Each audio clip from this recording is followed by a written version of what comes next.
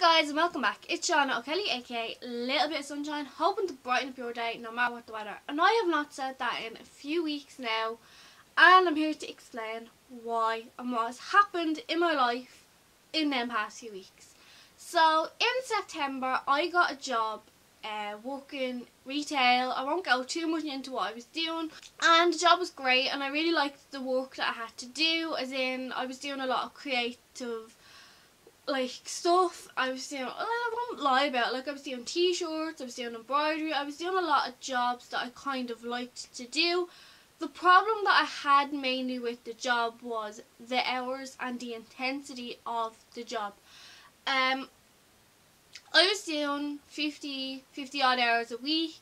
So that is why I kind of disappeared off YouTube because by the time I was coming home I was only fit for my bed and that was it. Like there was nothing else in my life. I wasn't going to the gym.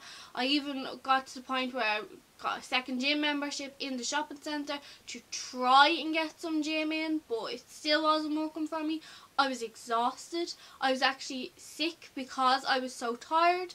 I was catching like I had I was smothering for like four weeks with a cold and um, because where the job was I was right at the door all the time and because it's obviously colder in Ireland that was affecting me. On top of that like I wasn't allowed to have any breaks.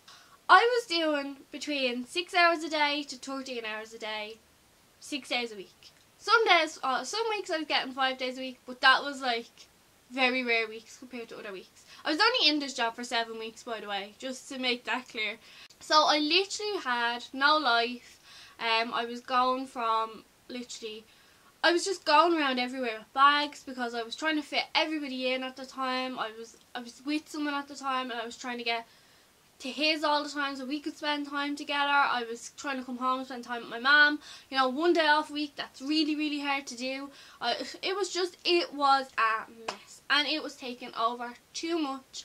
And it just wasn't worth it for a minimum wage job that I was happy happy in in the beginning, but you know what, as the weeks went on, I realised I was pretty darn miserable. And I really cracked the day that I came home and just bawled my eyes out and I was like, I cannot do this anymore. And I really quit on things or give up on things or, you know, but I had had enough. Um, oh, I'm so cry the job was very stressful in itself. It was always, you know, last minute jobs, people that wanted things yesterday but only ordered them 10 minutes ago and wanted to know why you didn't have them done yet. Um, there was a lot of that. And I'm great with people and great with customers. Customers actually had very little issues with me. Um, I always had repeat customers. Even when I left, I still had customers that came back looking for me. In the small period of time that I'd been there, I had gotten regular customers and customers like comeback customers that, you know, just loved my attitude and loved how quick I would do things for them or how I would treat them, I guess. Um, so I had to leave that job because it was just, it it was controlling my life. And a job shouldn't do that. You should always have a life outside of a job. Um, but there was other things too too that I won't go into because I just I just don't want to go into it. Like I kind of just want to leave that job alone now, get my P45, get whatever else I need to get it, and just be done with be done with that particular job and move on to my next job because I quit my job last Sunday, I'm going to say. I sent my email on Sunday. I had decided I was going to do it on Friday, but I was being really nice and held off till Sunday because my boss's boyfriend had a 40th birthday and I just didn't want to ruin and put a bad vibe on the birthday party. So I held it off till Sunday morning, which you'd say is a bit harsh when they were, had a hangover or whatever. But I needed to give him enough notice because I was finishing up that Monday. I had had enough. Like, I was like, nope, Monday, I'm done. Um, I was meant to be off Tuesday and Wednesday as well, so that was an unusual occurrence and something I booked off on my first day because I was meant to be going away them two days. Um, I, I my trip actually got cancelled, but I didn't tell my boss that because I knew I'd lose them two days then, and I wanted them two days. But um, when I'd had enough, I realised like do you know what? The two days didn't matter. Nothing mattered. I was leaving on Monday. And I even left early on Monday. I was really, really strict about it. I was kind of like, no, do you know what? I'm leaving. Um, there was nobody to cover me, which you'd say was really mean to me, but that was another big issue was that I was basically it was a stand rather than a shop, and I was basically on that stand on my own all day, most days. And the odd time there'd be somebody with me, but it was very unusual to have someone with me. I spent more time on my own than with people. And it, that was kind of taking effect too because it meant I couldn't even go to the toilet without even calling a security guard or, you know, I couldn't really do anything. I couldn't leave the stand. All the work was kind of on me and that was kind of, it was, you know, it wasn't easy. It was actually really, really difficult to be the only person doing everything. So like I'd be in the middle of doing an order and be taking in other orders at the same time, making sure this order is still going, making sure the t-shirt is still running, the embroidery is still going, and still taking an order to till. And you know I was basically doing the work with two to three people, and that was down to my boss. Kept saying he was gonna hire someone, but you know what? He kept telling me he was gonna hire somebody the first day I started, and by the seventh week he still hadn't hired someone. And to this day he still hasn't hired someone and still hasn't replaced me. So just goes to show that he's willing to like I don't think he was willing to I'm not gonna say spend the money but take on another wage as such, which was having an effect on the business and having an effect on me as well. So that is why I, I just had to leave, like I had to get out. And it was, this, I, as I said, I'm not a quitter and I'm not the kind of person that just goes, that's it, I'm done. But that was, I got pushed to that point. So anyway, as I came out on Monday, I did up my CV well before that. That weekend I was working on my CV. I knew I wanted out, out, out. So I did my CV up and I applied for, I'm not going to say everywhere and anywhere, but everywhere and anywhere I thought I could work. And a lot of the work that was available at the minute is either seasonal or part-time. And I kind of was like, right, I prefer part-time over seasonal because seasonal meant I'd be working for five weeks and then have nothing. But at least at part-time it meant I would, I would continue on after Christmas. Even if it was only 20 to 25 hours a week, that is grand. That'll do me. I don't need bundles of money like, I, you know, as long as I can eat and sleep, I'm happy. So 20, I applied for, I'd say 30 odd jobs in the past like in that weekend before I'd even quit my job. And I got a few callbacks and I finished, as I say, on the Monday. Um, and then this week, this actual week now, I've had four interviews, I want to say. Um, no, three. I got called back for three interviews for three positions.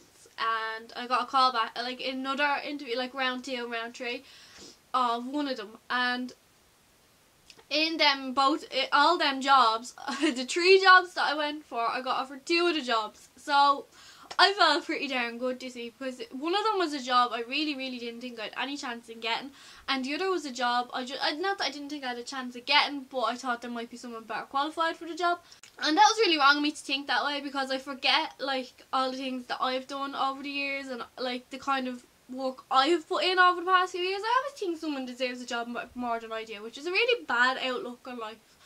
But that was the way I felt, and I walked. I actually got offered two to three jobs, and and I was really surprised, and I was actually like, sugar. Now what do I do? I have to pick a job, and one of the jobs I got offered was as a carer in a care home, and the other was a, a sales assistant in the health store.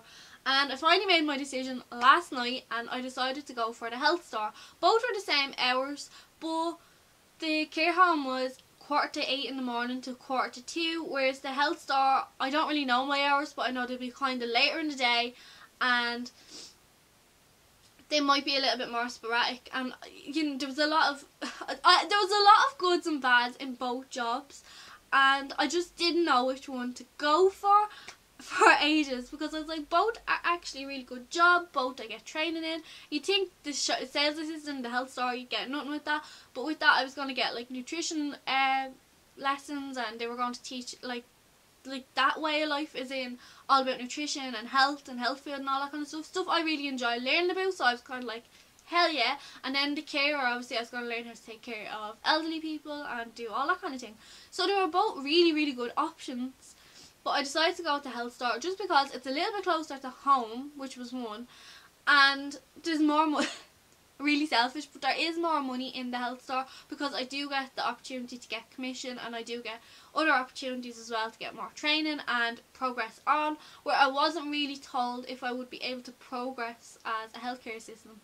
And not that I don't think I would, but I I don't really know if I see my future being like the head of HCAs. Do you know? I do kind of see more of a nutrition thing for me because I am very obsessed with food and obsessed with nutrition and obsessed with what it can do for my body. So that was a really good option for me. I talked it through with a lot of people, didn't tell them where my mindset was at because mine was actually more the carer at the time. But I talked to seven people that I really, really trust and I knew they not that I knew they'd make a better option, but I knew they'd make a better point. All seven of them said to go for the health store. So I knew that maybe I was looking at it in the wrong kind of light and when they said it I was kind of like right no you are 100% right. I'm not thinking straight. I've had a rough week. I'm not thinking straight. I'm just thinking of I, I don't even know what I was thinking of to be honest. I guess I felt there was more job security in the HCA job than there would be in the health store which was brain dead of me because you can always get more jobs in retail whereas you know a healthcare assistant you're kind of I won't say you're limited but you, you, a lot of them will require training and I mean proper training like go to college training whereas sales assistant really doesn't so that's not that that was a contributing factor but I just felt I have a more of a future in nutrition than I would in HCA. HCA was what my mum did, and not that I don't want to follow my mum's footsteps. I think what my mum did does and did over the past many ever years she's done it has been amazing and changed so many people's life. And I guess that was one thing that made me want to go for that was that I knew how much of an impact my mum has had on other people's life, but maybe that's not the same impact I could have on people's life. I can still have an impact on people's life by putting them in the right direction with food and health supplements. You know, I could get help people get over IBS. I can help people get over stress. I can help people get over anxiety. I can help people do all that kind of stuff, lose weight, transform their life, all that kind of jazz.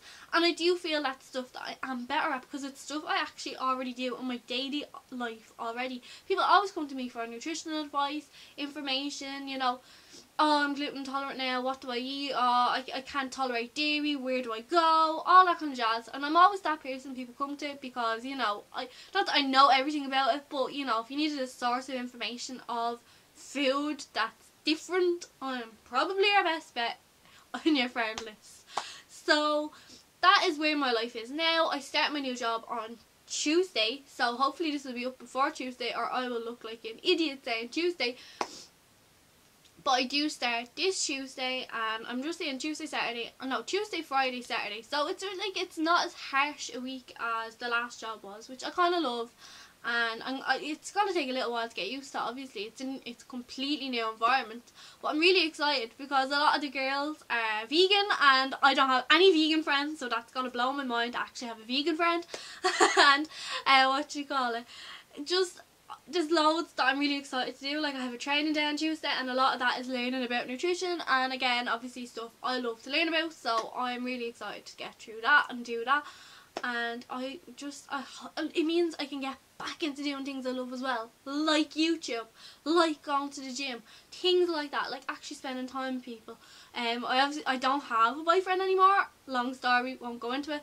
Um but it means I can actually spend time with my friends now and actually go places and do things and not have to like literally you know have no roster. That was another thing I had and didn't have in my job. So I never knew what day I was going to have off. And I knew once I had a day off I had to maximise everything I did in that day which nightmare.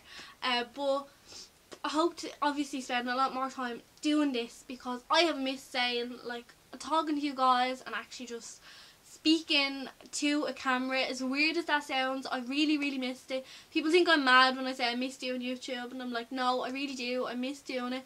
Um, but I'm back and I don't plan to go anywhere in the meantime. Uh, unfortunately we're still getting work done in the house which obviously affects my upload schedule a hell of a lot. But I told my mum she's now barred from getting things done in the house. So once the job that's done at the minute is done we are finito for this year. I mean it. We are so done for this year. I am sick of strange men being in my house, doing things in my house. And I don't mean that in a dirty way.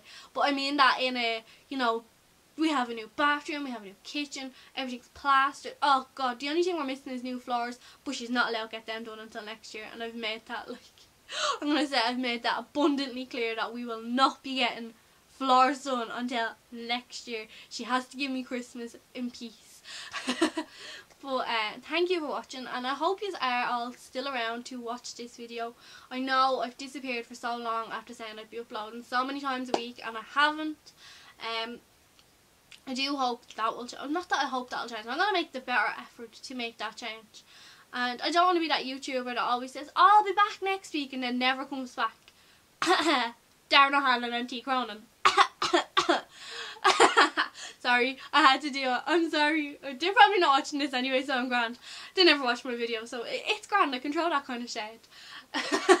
nah, they will come back eventually, but like I, I always like like them that they never come back. I guess I have fallen into the same trap they have over the past while, which is letting life take over and not making time for YouTube. Not that I didn't want it, it's just that I wasn't actually able to. So I hope that explains where I've been, why I've been there, and just I'm sorry. That's what I'm gonna say. I'm absolutely so sorry because this was something I intended to put so much effort into and didn't. And that is not like me. Usually when I say I'm gonna do something, I do it and that's the end of it. But I haven't done that with this channel and I'm sorry about that. I I it frustrates me so much because it's something that I want to put time into and I don't. So now it's time to stop putting time into stupid things and start putting time into you guys and this channel. So I hope you enjoyed this. If you did, let me know down in the comments what's up in your life. Leave me a like if you feel like it. I, I'm not one of the people that says, give it this a big thumbs up. But um, if you want it, give it a big thumbs up. And if you're new here, welcome. I'm usually a lot more consistent. I'm usually not in my PJs doing videos. But that's the way we have to be today because my mom is off early today. So I wanted to get this video done before she came home. So that is why I'm in my PJs. And you're like, that's not even PJs, that's a t-shirt, you could have got away with not saying anything. Yeah, but the bottoms kind of hang me. let, let me know down in the comments what's going on in your life. If you're still here, and um, say hello, say goodbye. Don't say goodbye, actually. Do not say goodbye. Don't, don't make this a bittersweet goodbye. But let me know down in the comments what you'd like to see from this channel in the future. Um, I've really had a lot of ideas in the future for the future of videos I would like to do. Um, I actually I might do a video explaining some of the ideas I have for YouTube. So that's going to be my next video now. I didn't even plan that, but that makes more sense because this video is super long. So, goodbye, and I'll see you soon. Bye.